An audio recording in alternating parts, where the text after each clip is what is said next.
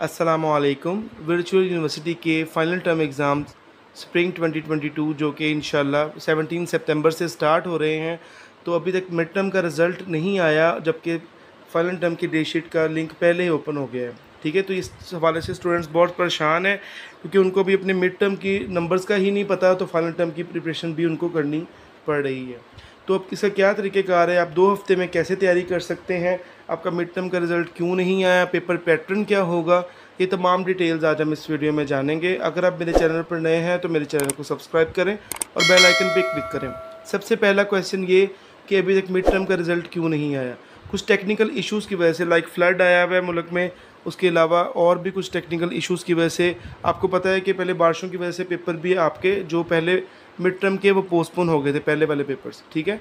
तो इसलिए हवाले से अभी रिज़ल्ट नहीं आया। वो आपका इंशाल्लाह मंडे तक या कमिंग वीक में आपका रिज़ल्ट अनाउंस कर दिया जाएगा। और एक और चीज़ के मिड टर्म के जो मार्क्स हैं आपके, उनमें पास फेल नहीं होता। उसका सिर्फ़ थर्टी परसेंट हिस्सा जो है वो आपका फाइनल टर्म में काउंट होगा। जितने मार्क्स भी आप लेंगे, वो थर्टी परसेंट उसका बाद में मार्क्स का लेके वो आपके फाइनल में काउंट होगा।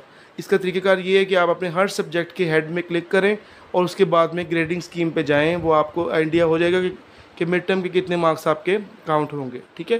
क्वेश्चन नंबर टू ये है कि इसकी जो प्रिपरेशन हम कैसे करें?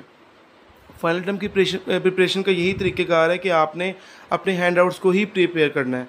और इसका जो सिलेबस है, वो आपका मिड टर्म के बाद का जो आपको नंबर 23 से 45 जो आपने मिड टर्म के बाद पढ़े हैं, वही आपके फाइनल टर्म में आएँगे। अपने हैंड आउट्स को लाजमी प्रिपेयर करेंगे, जो दो हफ़्ते हैं, इनमें अपने कोशिश करें कि हर सब्जेक्ट को इंडिविजुअल टाइम दें, ठीक है? हैंड आउट्स को एक मरतबा आप लाजमी पढ़ें। ऐसे स्टूडेंट जो लेक्चर नहीं अटेंड कर सके किसी वजह से तो वो हैंड आउट्स को ही पढ़ें ताकि आपको उसकी समझ आ सके। जो कोई कॉन्सेप्ट नहीं समझ आता, उसको यूट्यूब से सर्च कर लें, ठीक है? यूट्यूब पर अक्सर वीडियोज़ पढ़ी हैं। अगर वहाँ से भी नहीं है, आपको समझ आ रही तो गूगल कर लें। ठीक है? ताकि आप उस चीज़ को पढ़ सकें और अपने हैंड आउट्स को प्रिपेयर करें। पेपर आपका वहीं से आता है। बहुत से स्टूडेंट्स कम वक्त होने की वजह से पास पेपर्स को सिर्फ़ प्रिपेयर करके चल जाते हैं और उनके बाद में जब वो पेपर नहीं आता तो वो परेशान होते हैं कि ये क्या हुआ? हमारा वो तो पेपर आया ही नहीं जो हमने पास पेपर में पढ़ा था।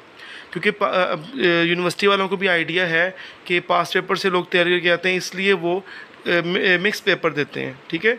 वो आपके कॉन्सेप्ट बेस पे पेपर देंगे। उन्होंने आपको एक थ्योरी की समझ आनी चाहिए। सपोज़ करें कोई थ्योरी है, जब तक आप उसकी समझ नहीं सकेंगे उसको तो उस उसको आप एक्सप्लेन ही नहीं कर सकेंगे। ठीक है? कोई भी कॉन्सेप्ट है जो आप, जब उसको समझेंगे नहीं क्लियर ही नहीं होगा तो क्वेश्चन आप नहीं सॉल्व कर सकेंगे। इसलिए पास पेपर्स की तरफ़ मत जाएँ। पास पेपर्स को तब प्रिपेयर करें जब आपने तैयारी पूरी कर ली हो। अच्छे नंबर्स के लिए आप हैंडआउट्स और पीपीटी स्लाइड्स को ही प्रिपेयर करें, ठीक है? और उसके बाद में पेपर पैटर्न ये होगा कि आपका फोर्टी फोर्टी मार्क्स का जो आपका एम होंगे, जबकि फोर्टी मार्क्स के ही आपके short questions and long question होंगे। जिस तरह कि आप देखें पेपर आपका दो घंटे का होगा। ठीक है मिड टर्म का पेपर जो है वो एक घंटे का होता है, जबकि फाइनल टर्म का पेपर वो दो घंटे का होता है। तो इसमें हाफ़ जो आपके एम आएँगे और हाफ़ आपका जो सब्जेक्टिव आएगा। और अक्सर लोग कह रहे थे कि फाइनल टर्म में फ़िज़िकल एग्ज़ाम्स की जगह ग्रैंड क्विज़ होंगे। तो ये बात सारी गलत है। आपको इस चीज़ से अंदाज़ा लगा लेना चाहिए कि आपके जो फाइनल टर्म की डेट शीट जब आपने बना ली है इट मीन्स कि आपके फ़िज़िकल पेपर ही होंगे। आपको फ़िज़िकली जाके ही अटेंड करने होंगे। और कोई क्वेश्चन हो तो आप डिस्क्रिप्शन बॉक्स में दिए गए नंबर में मुझसे रबता कर सकते हैं। Hope for the best to all students अल्लाह हाफिज़।